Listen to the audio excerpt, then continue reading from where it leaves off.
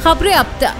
Powered by fly अपीरन the journey beyond your imagination नमस्कार, मैं ज्योति श्रीवास्तव। स्वागत है आपका खबरें अब तक में। आज खबरें अब तक में बात होगी भारत में हुई एक अनोखी शादी की। कावड़ यात्रा को लेकर मचे नाम के घमासान की और कल के पेश होने वाले यूनियन बजट की बारीकियों की। इसके अलावा आज राजनीति में क्या हुआ खास वो भी बताएँगे, लेकिन उससे पहले हेडलाइंस पर एक नज़र डाल लेते हैं। सुप्रीम कोर्ट के फैसले का दिखने लगा असर। कावड़ रोड पर दुकानदारों ने हटाई नेम प्लेट सुप्रीम कोर्ट के फैसले के बाद विपक्ष सरकार पर हमलावर है। सपा प्रमुख अखिलेश यादव ने कहा कि जिस समय मुझे जानकारी मिली थी, तभी मैंने कहा था कि सुप्रीम कोर्ट खुद इसे संज्ञान मिले और ऐसी कार्यवाही को रोके। केशव प्रसाद मौर्य ने सीएम योगी के विभाग से मांगा कर्मचारियों को आरक्षण का ब्यौरा। चर्चा में आया डिप्टी सीएम का letter. Deputy CM Keshav Prasad Maurya ने सीएम योगी की नियुक्ति और कार्मिक विभाग को चिट्ठी लिखकर कर्मचारियों को मिले आरक्षण का ब्यौरा मांगा। बीजेपी में अंदरूनी खींचतान के बीच डिप्टी सीएम का ये लेटर चर्चा में आया। सीबीआई केस में मनीष सिसोदिया की न्यायिक हिरासत 26 जुलाई तक बढ़ाई गई। राउज एवेन्यू कोर्ट ने दिया आदेश। राउज एवेन्यू कोर्ट ने सोमवार को दिल्ली उत्पाद शुल्क नीति मामले में मनीष सिसोदिया और अन्य आरोपियों की न्यायिक हिरासत 26 जुलाई तक बढ़ा दी है। दिल्ली के पूर्व मुख्यमंत्री की न्यायिक हिरासत पहले 22 जुलाई तक बढ़ा दी गई थी। वो फरवरी 2023 से जेल में बंद है। आम आदमी पार्टी नेता को 26 फरवरी 2023 को केंद्रीय जाँच ब्यूरो ने 2021-22 की दिल्ली उत्पाद शुल्क नीति से जुड़े भ्रष्टाचार के आरोप में गिरफ़्तार किया था। सावन के पहले सोमवार को बिहार में बड़ा हादसा। गंगा में चार लड़के डूबे, सात को बचाया गया। भागलपुर जिला के नारायणपुर प्रखंड अंतर्गत भवानीपुर थाना क्षेत्र के मधुरापुर गंगा जहाज़ पर नहाने के क्रम में सोमवार को डूबने से चार लड़कों की मौत हो गई। गोताखोरों की मदद से तीन लड़कों के शव नदी से निकालकर परिजनों को सौंप दिए गए हैं। बाज़ार लगातार दूसरे दिन गिरावट के साथ बंद सेंसेक्स 102 अंक टूटा निफ्टी 22,500 के करीब बंद हुआ। बता दें कि बाज़ार लगातार हफ़्ते के दूसरे दिन गिरावट के साथ बंद हुआ है जिसके बाद सामने आया है कि सेंसेक्स 102 अंक टूटा है जबकि निफ्टी 22,500 के करीब पहुँची। हेडलाइंस के बाद आपका बहुत स्वागत है। आगे बढ़ेंगे, लेकिन उससे पहले आज की वायरल वीडियो जरा आपको दिखा देते हैं। दरअसल बार बार लोगों को सलाह दी जा रही है कि पब्लिक प्लेस पर हमें ऐसी हरकतें नहीं करनी चाहिए, जिससे दूसरों को परेशानी हो या लोग असहज महसूस करें। हालाँकि कुछ लोग मानने को ही तैयार नहीं हैं। इस वक्त एक वीडियो वायरल हो रहा है, जिसमें एक कपल ने मेले में किस करना शुरू कर दिया। वहाँ मौजूद लोगों ने इसका वीडियो बना लिया, जो अब वायरल हो रहा है। देखिए ये वीडियो।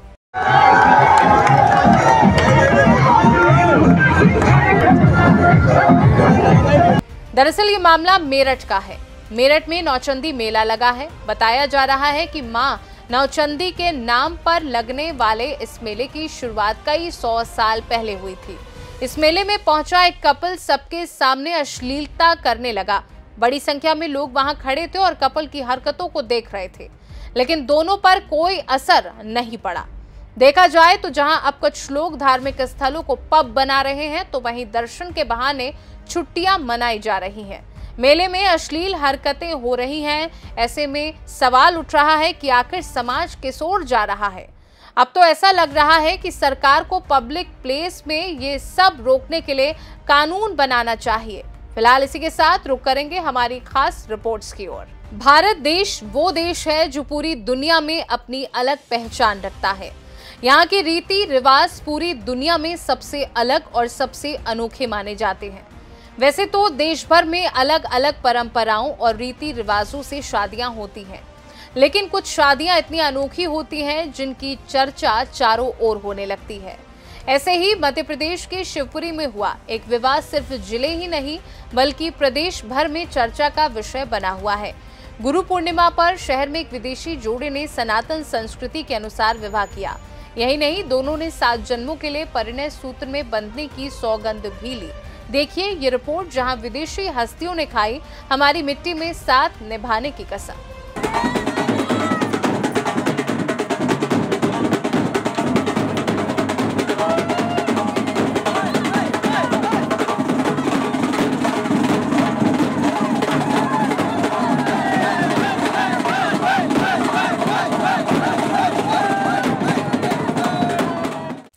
एमपी के शिवपुरी में गुरु पूर्णिमा के दिन एक विदेशी जोड़े ने भारतीय रीति रिवाज से शादी कर ली है। भारतीय संस्कृति और शिवपुरी के गुरुजी डॉक्टर रघुवीर सिंह गौर से प्रभावित होकर स्विट्जरलैंड के मार्टिन और जर्मनी के उल्रीके ने अपनी शादी के लिए भारत के शिवपुरी को चुना। इस मौके पर शिवपुरी के नक्षत्र गार्डन में सभी ज़रूरी इंतजामों के साथ कार्यक्रम संपन्न हुआ। स्विट्जरलैंड के मार्टिन और जर्मनी की उल्रीके गुरु पूर्णिमा के अवसर पर शिवपुरी में एक दूसरे के हो गए। आध्यात्मिक गुरु डॉक्टर रघुवीर सिंह गौर के सानिध्य में इस चर्चित शादी में बड़ी संख्या में हस्तियाँ मौजूद रहीं। मार्टिन शेरवानी में और उल्री के लहंगा पहनकर भारतीय दूल्हा दुल्हन लग रहे थे। इस शादी में बाकायदा बारात निकाली गई, फिर बाद में वरमाला कराई गई। भारतीय परंपरा के अनुसार वैदिक मंत्रों के साथ विवाह संपन्न हुआ। इस शादी में करीब आधा दर्जन विदेशी मेहमान भी शामिल हुए। शादी के बाद मार्टिन ने कहा कि वह गुरु जी के आशीर्वाद और सानिध्य में शादी करना चाहते थे। उनकी ये मुराद पूरी हुई है। विदेशी दूल्हा भारतीय बाराती, अजब रही बारात, रविवार की रात स्विट्जरलैंड के मार्टिन की बारात निकाली गई। मार्टिन शेरवानी पहन, सर पर साफा बाँध बग्गी पर सवार हुए। मार्टिन की बारात में दो विदेशी महिलाएँ थीं। लेकिन करीब एक सैकड़ा बाराती, भारतीय बाराती थे, जिनके द्वारा बारात में फिल्मी गीतों पर जमकर डांस किया गया। ये बारात कुछ अलग ही लग रही थी, जिसमें विदेशी दूल्हा और भारतीय बाराती देखने को मिले थे। दुल्हन के जोड़े में दिखी उल्रीके, हाथों में रचाई मेहंदी, इधर उल्रीके ने भी लहंगा पहना हुआ था। उन्होंने मार्टिन के नाम हाथों में मेहंदी रचाई हुई थी। बाकायदा भारतीय पद्धति के अनुसार उल्रीके मंच पर वरमाला के लिए पहुँची। उनके साथ भारतीय महिलाएँ रहीं, जहाँ मंच पर वैदिक मंत्रों के साथ वरमाला हुई। इस मौके पर सभी धर्मों के गुरुओं ने पहुंचकर मार्टिन और उल्रीके को अपना आशीर्वाद दिया। मार्टिन और उल्रीके की शादी में पूर्व राज्य मंत्री दर्जा प्राप्त सहित पूर्व विधायक और कई चर्चित हस्तियाँ मौजूद रहीं। बता दें मार्टिन और उल्रीके 23 जुलाई तक शिवपुरी में रहने के बाद दोनों दिल्ली में दो दिन रुकेंगे इसके बाद स्विट्जरलैंड रवाना हो जाएँगे इस दौरान दूल्हे राजा मार्टिन ने क्या कहा आइए सुनाते हैं I, there's just no words. It's just overwhelming. Yes. Now we are starting. Okay, okay. Uh, Mr. Martin, uh, you are going to marry now. Do you like this uh, culture, Indian marriage? Yes, I love it. Yes, it's overwhelming. There is no other words. In the process, and lot of dance. Yes, yes, it's very good. It's uh, yeah, yeah, yeah. It's uh, uh, how do I say? Life energy, pure, pure life energy. Perfect. Uh, now you are going to marry. Yes, She is so yes. I almost didn't recognize her with all the the jewelries and uh, yeah, it's very nice. वहीं विश्व विख्यात संस्थान शिवपुरी के प्रमुख doctor रघुवीर सिंह गौर ने कहा कि एक धर्मगुरु के समक्ष तो अक्सर शादी विवाह और फेरे होते हैं लेकिन शिवपुरी में पहली बार सभी धर्म गुरुओं के समक्ष अंग्रेज़ दंपतियों ने सुखद जीवन का आशीर्वाद लिया है जी महिला जर्मनी से है पुरुष स्विट्जरलैंड से है। जी जी। इनका कैसे समन्वय बना संयोग बना और उसमें आपकी क्या भूमिका रही?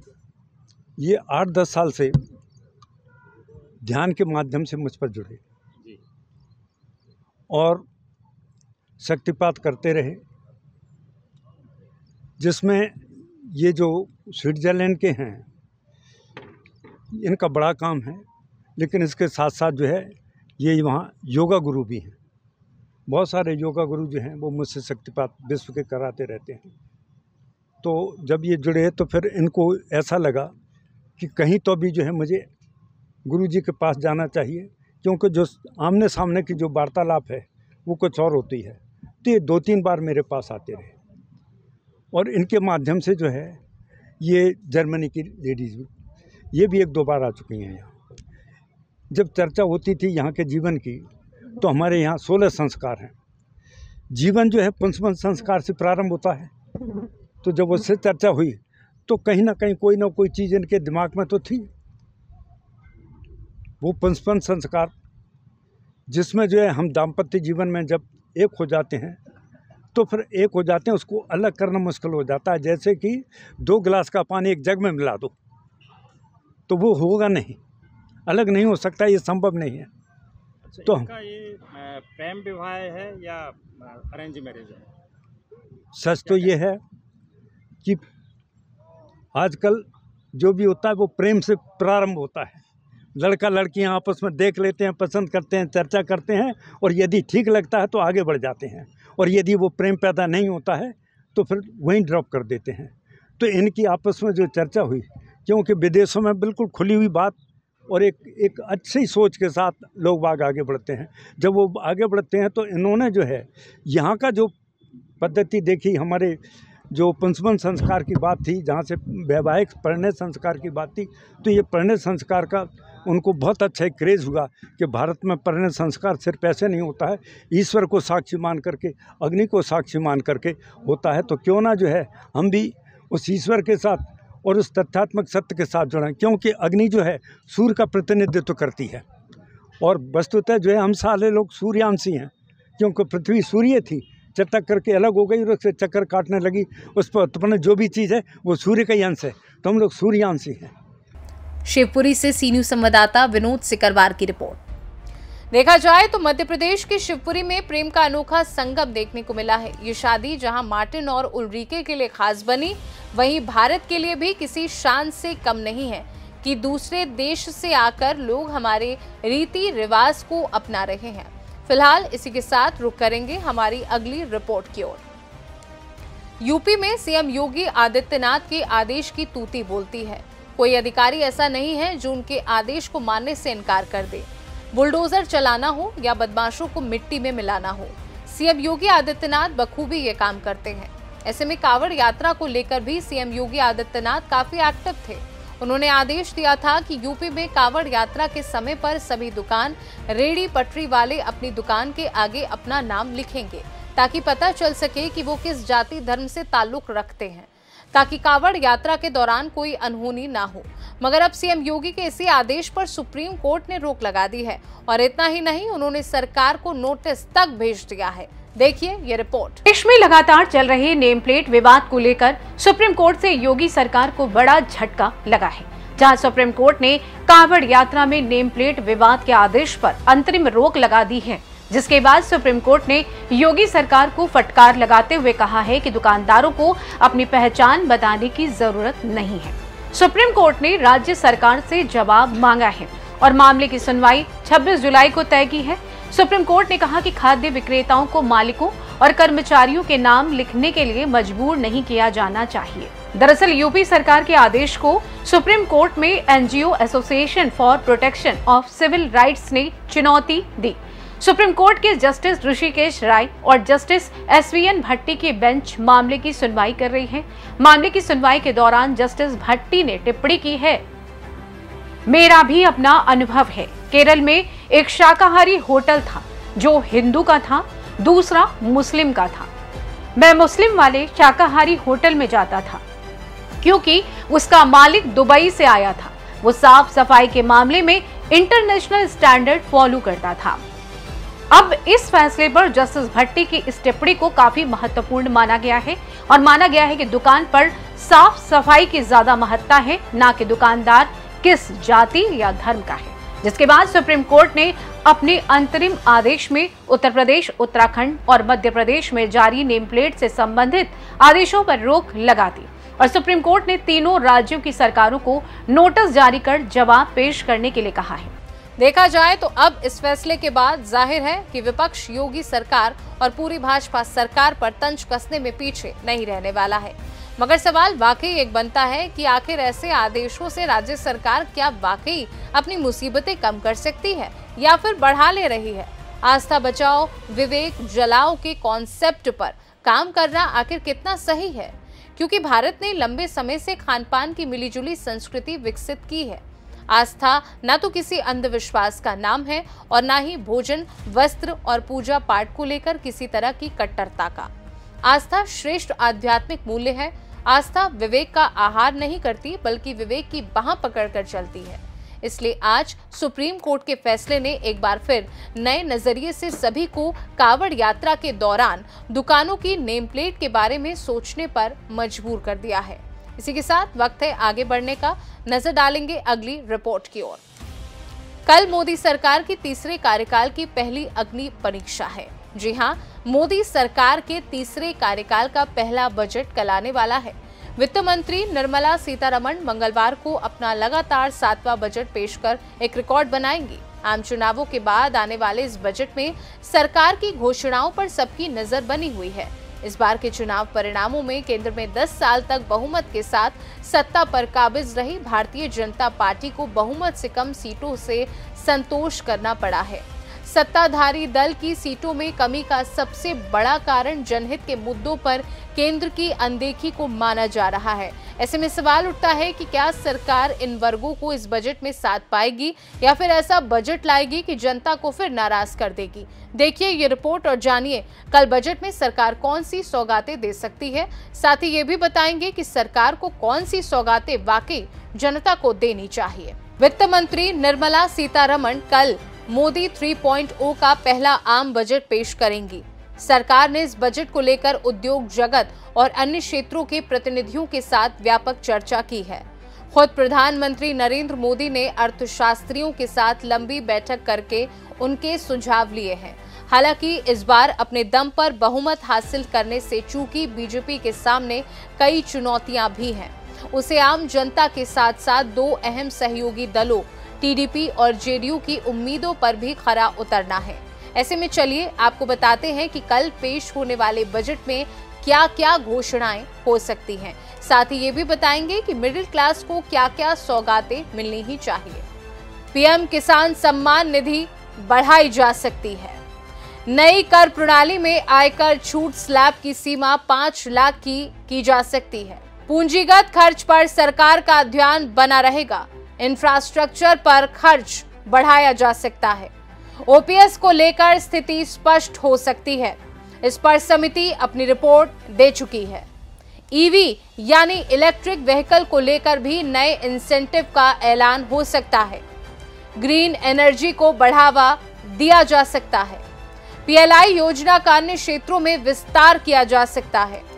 श्रम सुधारों को लेकर लेबर कोड पर स्पष्टता दी जा सकती है। अब आपको ये भी बता देते हैं कि कल के बजट में वाकई कौन सी सौगातें मिडिल क्लास को मिलनी ही चाहिए? जैसे, बजट में दो तक विकसित भारत का रोड मैप तैयार होना चाहिए। भारत को पाँच ट्रिलियन डॉलर की अर्थव्यवस्था बनाने का खाका तैयार होना चाहिए। ग्रामीण अर्थव्यवस्था पर विशेष ज़ोर दिया जाना चाहिए। ग्रामीण इलाकों में पीएम आवास योजना को लेकर ऐलान होना चाहिए। कृषि क्षेत्र के लिए नई योजनाएँ लानी चाहिए। किसान सम्मान निधि में वृद्धि होनी चाहिए। आयकर स्लैब में बदलाव होने चाहिए। खपत बढ़ाने पर ज़ोर दिया जाना चाहिए। हाउसिंग लोन लेने पर भी नई रियायतें मिलनी चाहिए। रोज़गार सृजन के रास्ते खुलने चाहिए। एमएसएमई पर विशेष ध्यान देना चाहिए। बुज़ुर्गों को रेलवे यात्रा में छूट की बहाली की जानी चाहिए। देखा जाए तो इस बार केंद्र में 10 साल तक बहुमत के साथ सत्ता पर काबिज रही भाजपा को इस बार आम चुनाव में बहुमत से कम सीटों से संतोष करना पड़ा। चुनाव से पहले विपक्षी दलों ने किसानों, बेरोजगारी की मार झेल रहे युवाओं, महिलाओं और नौकरी पेशा लोगों की परेशानियों से जुड़े मुद्दों पर सरकार को घेरा और वो बहुत हद तक अपने मकसद में सफल भी रहे।